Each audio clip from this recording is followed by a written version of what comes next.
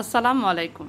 প্রিয় শিক্ষার্থীবৃন্দ, আশা করি তোমরা ভালো আছো, সুস্থ আছো। দেখো, আমরা তোমাদের বইয়ের এখন একাত্তর পৃষ্ঠায় আছি। হ্যাঁ আমরা গত ক্লাসে এগুলো করেছিলাম আর সাথে তোমাদেরকে তিনটা অনুশীলন, চারটা অনুশীলনী করতে দিয়েছিলাম।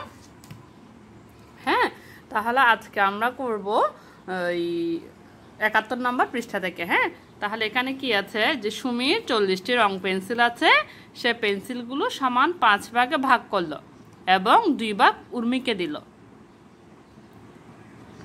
হ্যাঁ উর্মি কয়টি পেন্সিল পেল? তাহলে কি বলেছে? যে সুমির চল্লিশটি রং পেন্সিল আছে, সেগুলোকে সে পাঁচ ভাগ করেছে। ঠিক আছে? পাঁচ ভাগ করার পর ওখান থেকে দুই ভাগ সে উর্মিকে দিয়ে দিল।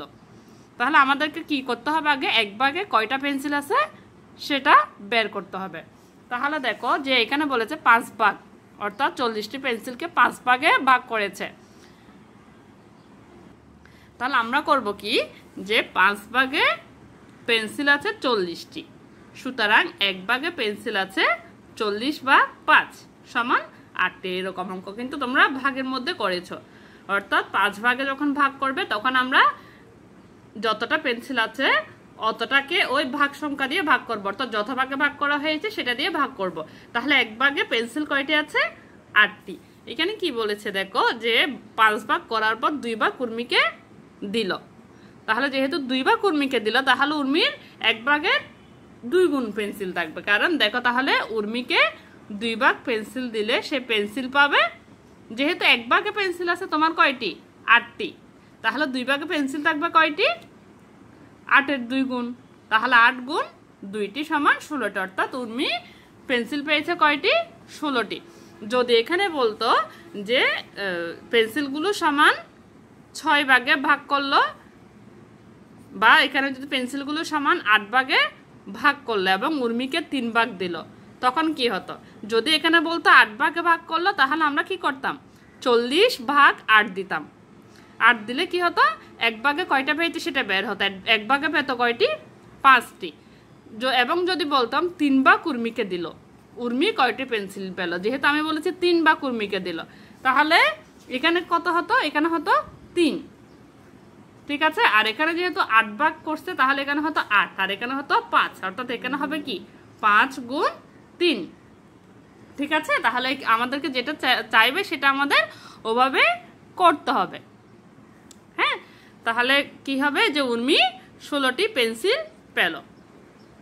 আর এখানে দেখো তিন নাম্বারে কি লিখেছে? একটি প্যাকেটে পঁয়তাল্লিশটি লজেন্স আছে। এগুলো থেকে দশটি লজেন্স এক পাশে রাখা হলো। হ্যাঁ? এবং বাকিগুলো বাকি লজেন্সগুলো পাঁচজন শিশুর মধ্যে ভাগ করে দেওয়া হলো। প্রত্যেকে কয়টি করে লজেন্স পেল? আমরা কিন্তু আগে করেছি যে একটি প্যাকেটে যদি পঁয়তাল্লিশটি লজেন্স থাকে, সেটাকে যদি আমরা পাঁচজন শিশুর মধ্যে ভাগ করে দেই, তাহলে একজনে কয়টি করে পাবে? তাহলে আমরা কি করতাম? শুরুতেই পঁয়তাল্লিশকে আমরা পাঁচ দিয়ে ভাগ করে দিতাম। কিন্তু এখানে বলেছি কি? পঁয়তাল্লিশ থেকে দশটা লজেন্স এক পাশে রাখা হলো। তাহলে আমাদেরকে কি করতে হবে?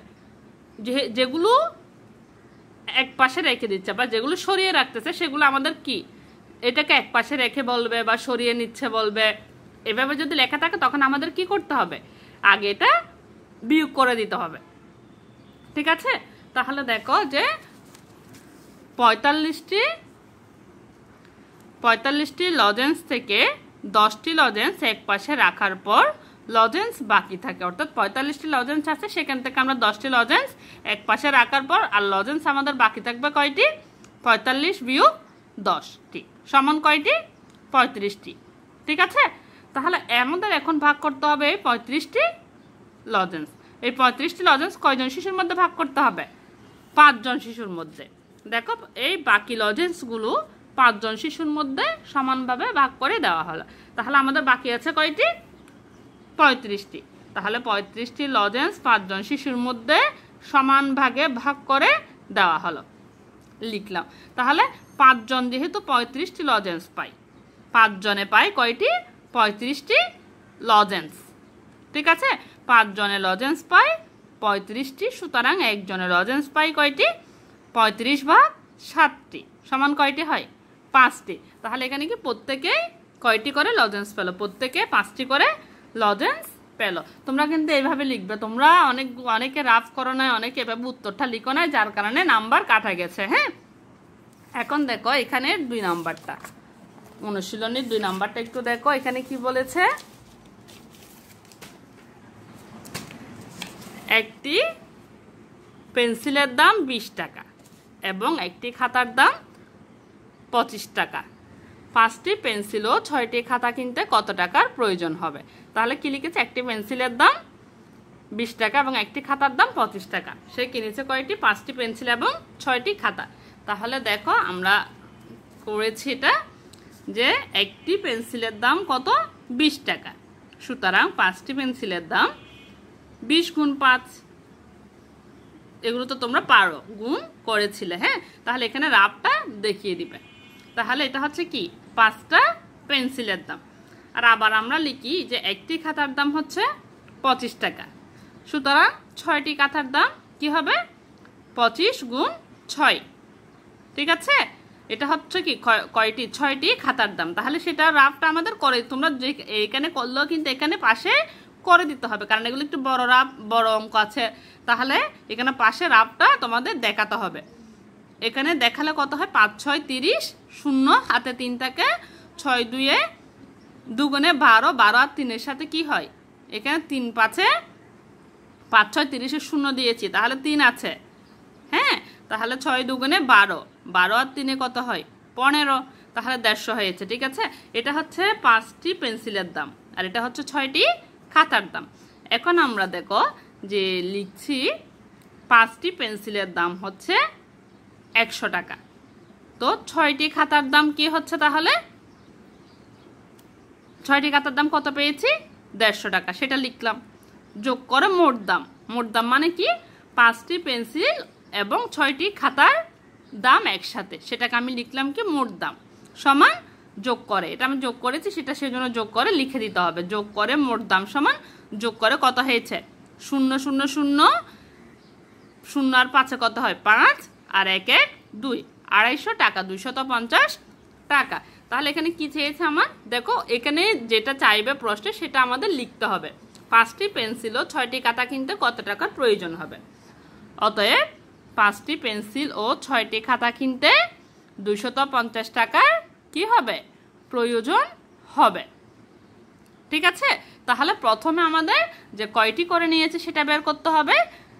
সেটা বের করে সে কত রকম জিনিস কিনেছে সেগুলা একসাথে যোগ করে দিতে হবে। ঠিক আছে?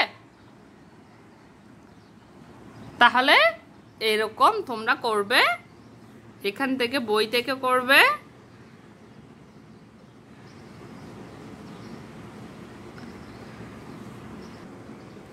আট নাম্বারটা। ঠিক আছে? দেখো, এখানে বলেছে কি, তিরাশিটি আম ছিল।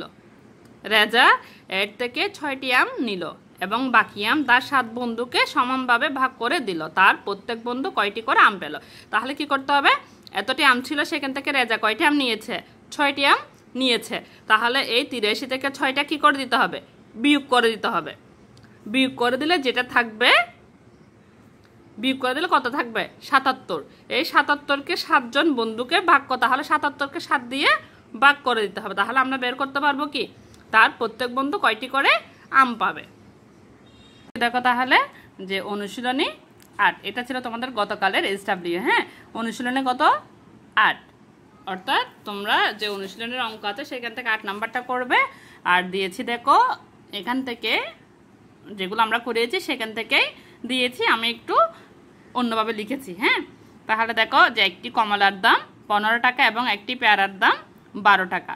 রুবা বা তেরোটি কমলা ষোলোটি পেয়ারা কিনলো। তার মোট কত টাকা খরচ হয়েছে? তাহলে একটি কমলার দাম, যেহেতু পনেরো টাকা, সুতরাং তেরোটি কমলার দাম বের করতে হবে। আর একটি পেয়ারার দাম বারো টাকা, সুতরাং ষোলোটি পেয়ারার দাম। তাহলে কি যে টাকাটা বের হবে সেটা যোগ করে দিতে হবে। হ্যাঁ সেমভাবে আমরা করেছি, একই অঙ্ক করেছি। তাহলে দেখো একটু উদাহরণের মতোই দিয়েছি যে রুমির পঁয়তাল্লিশটি রং পেন্সিল আছে। সে পেন্সিলগুলো সমান নয় ভাগে ভাগ করে তিনবার তমাকে দিল। হ্যাঁ তমা কয়টি পেন্সিল পেল?